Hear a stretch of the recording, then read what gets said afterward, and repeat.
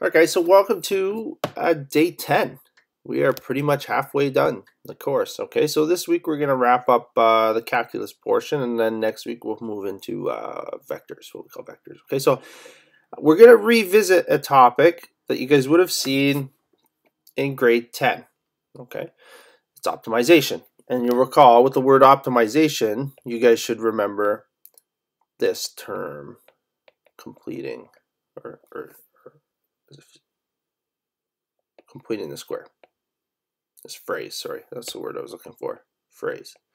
Okay, it's completing the square, and we dealt with um, typically, well, all our questions were the entire unit was based on the parabola, right, or a quadratic, right?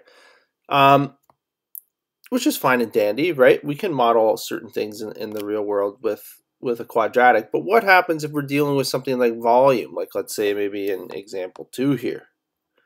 No longer is our, our equation um, a quadratic, and so you know this this has its shortcomings. It has its applicability, but it also has its shortcomings as well, right? And we're going to see that today.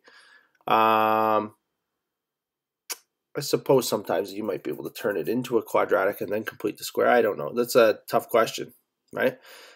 What isn't a tough question is you guys can now, you have another tool in your tool belt to answer these questions in a much faster way than completing the square. You remember completing the square could be a pain sometimes, right? Tedious. What's cool is we can use our calculus skills that we've learned as of late to actually answer these questions in, in a smaller amount of space, right? Remember, these questions took up a lot of space with completing the square, right? So there is something about these questions that does not change, right? And it's it's it's arguably the hardest part of these questions. It was then and it is now. It's coming up with the equations sometimes that ultimately you have to derive or complete the square on. Okay, so what we'll just run through a couple examples, four examples today. Um, we've got a financial one, we've got kind of a Pythagorean theorem one, we've got a volume one, and we've got this area, familiar area question that I thought we'd kick off with today. Okay, so ultimately, here's what we want to do. Okay, a man wishes to enclose a rectangular area against the wall of a chicken house to form a chicken run. Okay, the wall is 50 meters long. He has 60 meters of fencing. Okay, that's an important piece of information. He's got 60 meters. Okay, what is the largest area he can include enclose and what are its dimensions okay well we're using it sounds like or just based on the picture it looks like he's using the um whatever he's got it up against here like a house or something right? As one of the side lengths which makes this 60 meters of fencing go longer right? So when we do that, we know we're going to have to use, for this, we're going to have to use our relationship between perimeter, let me just write that out, perimeter, and then we're going to have an equation for the area, okay? And we're going to use the perimeter to pivot to something that we can use for the area, right? So we know what the perimeter is, right? The perimeter is the distance around the outside, right? And we know that that can be 60 meters, right? Or it has to be 60 meters. It can be. It has to be 60 meters because that's the amount of fencing that he has, right?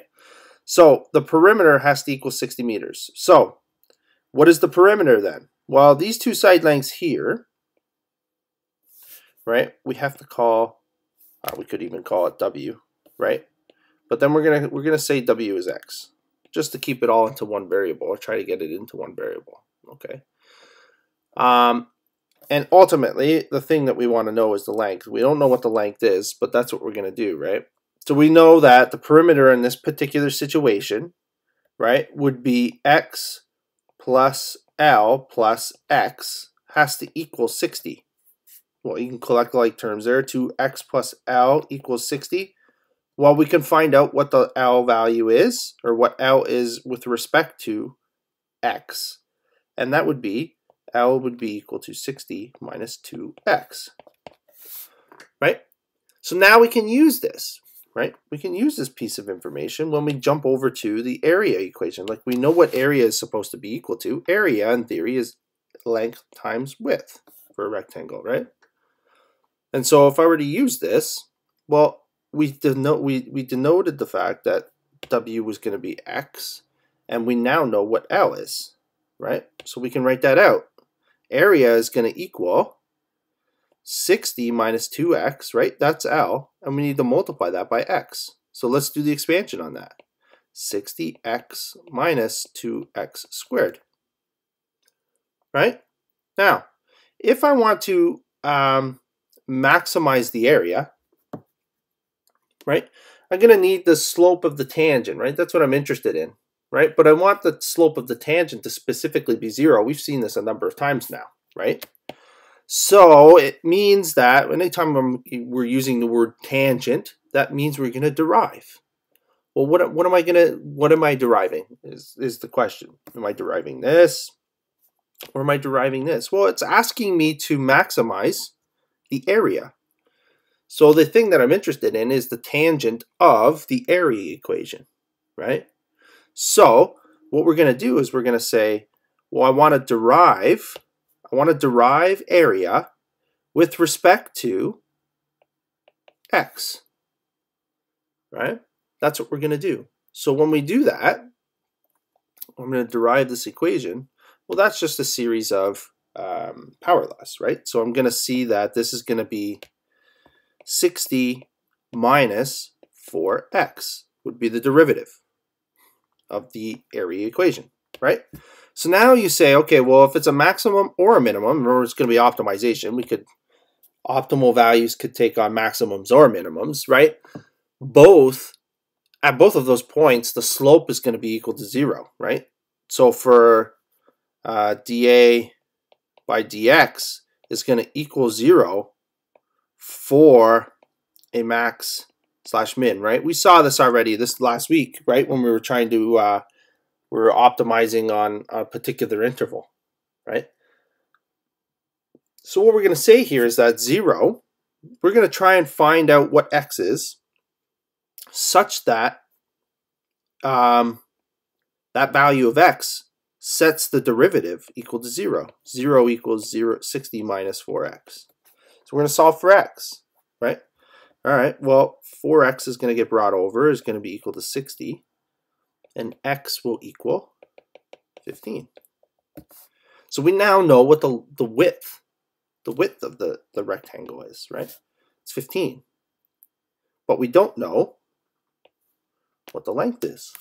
That's what we're going to find out. L equals 60 minus 2 times, what's x? 15.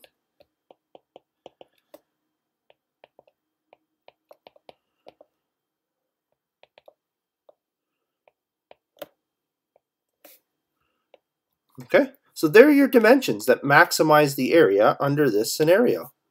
This, you remember, would have taken much, much more space, right? So these are nice, right? The, the, the calculus is here to make your life easier, right?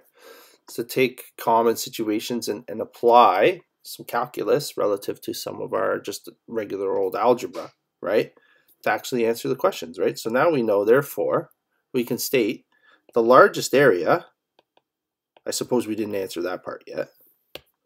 The largest area, remember, I, I suppose after you know what length and width are, you could go back and figure out what the actual maximum area would be, right? We could do that down here.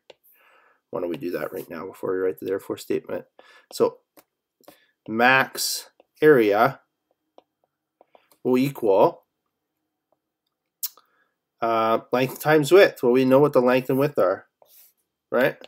So it's going to be 15 times 30. So we should see 450 meters squared.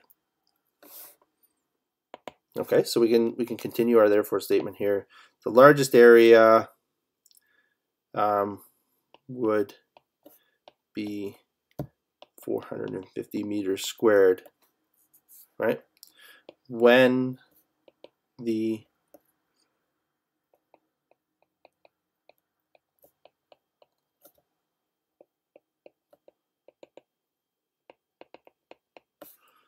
Fifteen meters by thirty meters.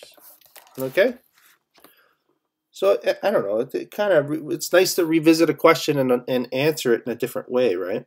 With a more robust method, right? Um, that's ultimately more efficient, right? But it's the, the exact same concept, okay?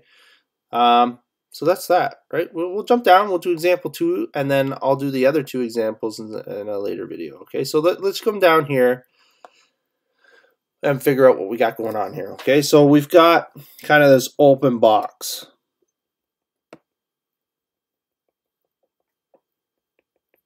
Okay, and I think the one thing that you got to remember here, uh, the hardest part of these questions is coming up with these equations, right? We know, okay, the top here in this particular question.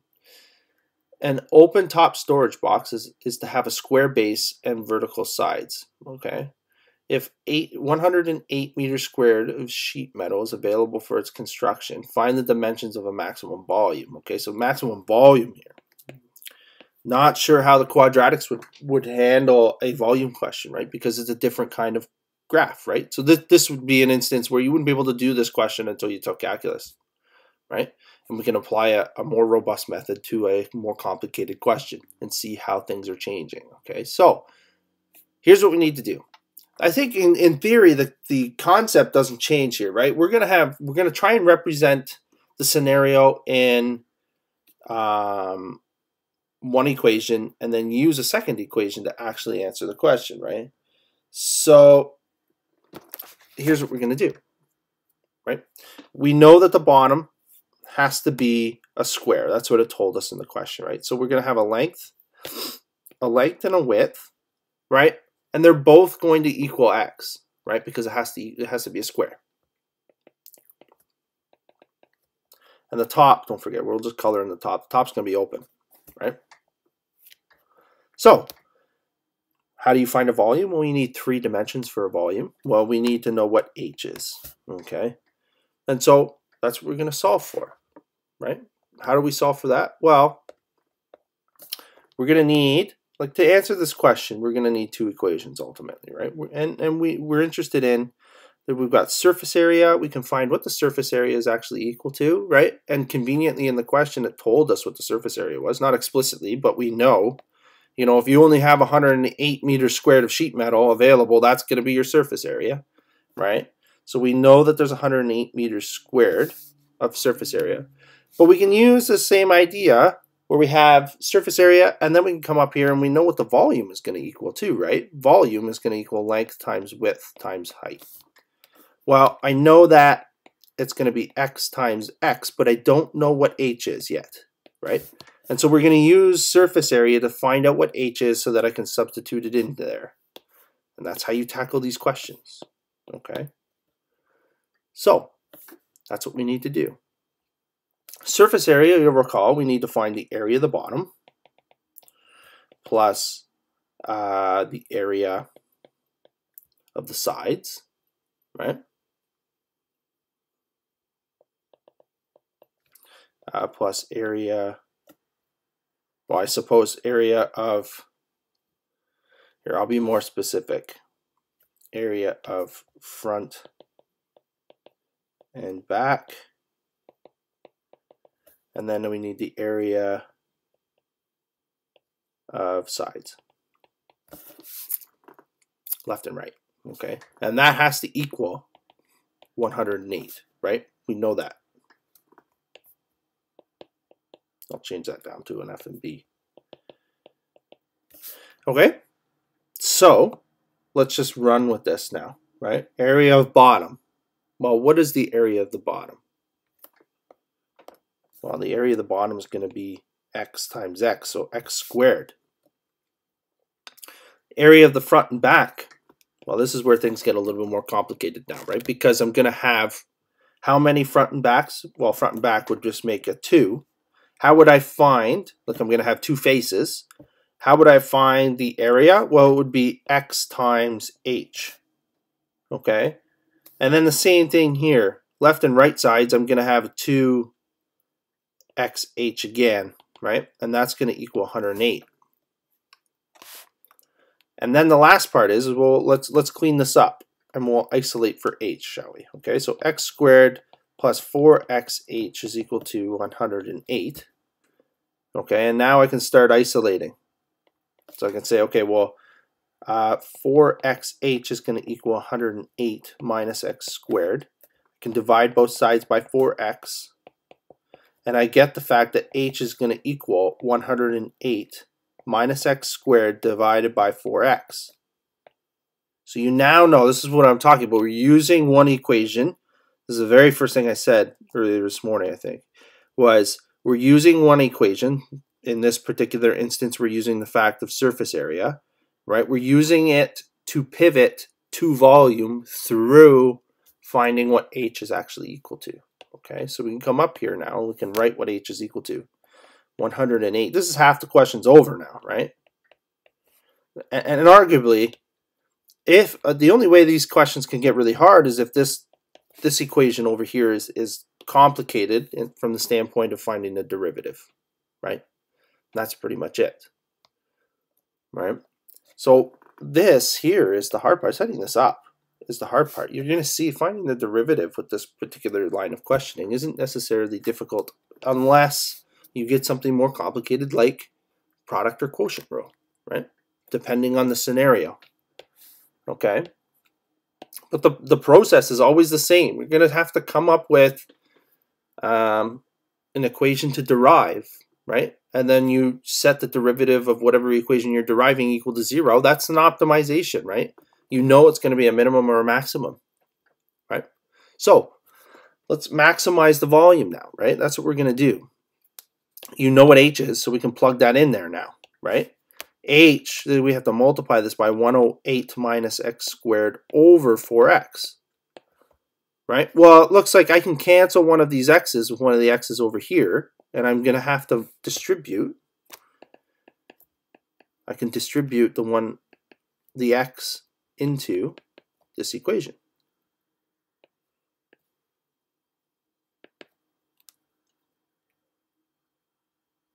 Okay, so we can do that. So we get 108 x minus x cubed over 4, which will reduce to 27x minus 1 quarter x cubed. Now, can we derive this, right? We want to optimize the volume, right? So we know I want to derive, right? Right here, I want to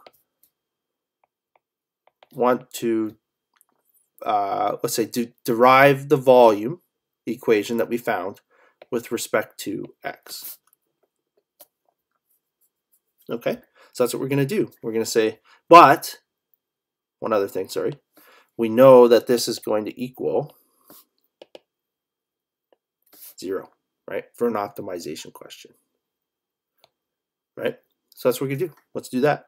So we're going to say dv by dx has to equal negative 3 quarters x squared plus 27. Okay? And then we can say, well, that has to equal 0, so let's solve. Solve for x. Right? That's what we're going to do. So, we're going to get negative 3 quarters x squared is equal to negative 27 right? And then we're going to see uh, negative 3x squared is equal to 108, right? And then we can see x squared, if I was to bring this over, 108 divided by negative 3 will be 36, negative 36. Oh, one sec, guys. Sorry, sorry, sorry. Forgot the negative. I was like, why we shouldn't get a negative there. There we go. Right? So we know that x is going to equal plus minus root 36, which is going to equal plus minus 6. Now, the problem here is, like in physics, anytime we've seen this before, you know, we know that that's our answer, but x has to be greater than or equal to 0, right? because we can't have negative dimensions here, so that doesn't make any sense. So we know that our answer has to equal um, x value anyway. We still haven't quite finished the question off yet, but we know that x equals has, x has to equal 6. Okay, so we have one thing left to do. And that is to find what the actual maximum volume is, if I know what x is, right? So we can do that, right? We can plug that into um, the volume equation there. Right, so we know that volume max is going to equal 6 times 6. The problem here is, well, I'm going to have to plug in 6 into x squared. When you do that, I won't bore you with the details, but you should get 3. Okay, so those are the dimensions that would maximize the volume, right? I actually don't think it didn't even ask for it. It just wanted the dimensions, okay? So there you go. Those are the dimensions that would maximize the volume of this box with an open top, okay? So, actually quite reasonable as long as you can come up with the equations. It's reasonable, okay? This is a lot of the challenges coming up with the equations, right? Same challenge from grade 10. Okay, so the more of these you do, the more experience you get in, uh, you know, the tricks of working with these questions. Like, okay, for a maximum area question, I can I can find the perimeter and then plug that into the area. For the volume questions, you can use surface area and then volume. Did I say volume? Area equation. Okay. For these questions here, same thing. Okay. You're pivoting. You're going to try and use two separate equations. Okay.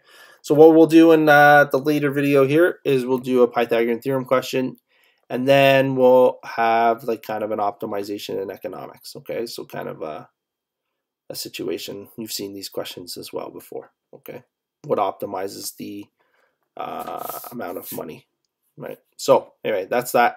I'll post this up and uh, uh, you guys can have a go at the homework questions and i'll do the other two questions in a later video